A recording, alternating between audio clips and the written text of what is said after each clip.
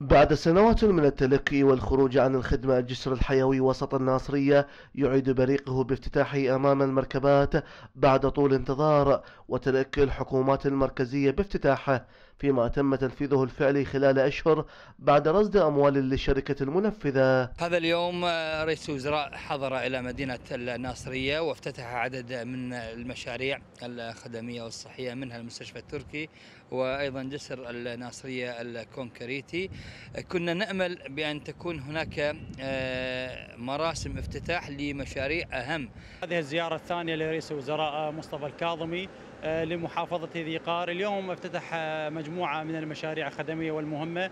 نأمل زيارات أخرى لمحافظة ذي قار لافتتاح مشاريع أيضا مهمة من بين هذه المشاريع الملعب الأولمبي وأيضا مجسر تقاطع سوق الشيوخ لما له من أهمية وتماس مباشر بحياة المواطن الذقاري لفك الاختناقات المرورية. بعد محطة الجسر كان المستشفى التركي هو المحطة الثانية لزيارة رئيس الوزراء مصطفى الكاظمي لافتتاحه والذي صار حلما للأهالي بدخول هذه البناية للإنجاز.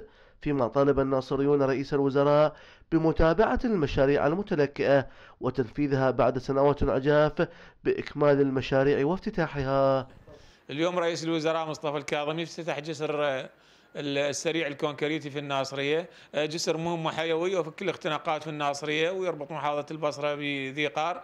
آه، نطالب من رئيس الوزراء أيضا النظر للمشاريع المتلكئه المتوقفة الكثيرة في الناصرية من بينها مثلا مشروع البنى التحتية، مشروع مجار الناصرية، نطالب بافتتاح يعني أو بالعمل على تحريك عجلة الإعمار في المحافظة خصوصا هناك الكثير من مشاريع السكن المتلكئه وبافتتاح جسر الناصرية الكبير يأمل ذي قاريون من حكومة الكاظمي بإكمال المشاريع المتلكئه لإحياء محافظة عانت الأمرين من فساد مالي واضطراب أمني لقناة التغيير هاب الخفاجي الناصرية.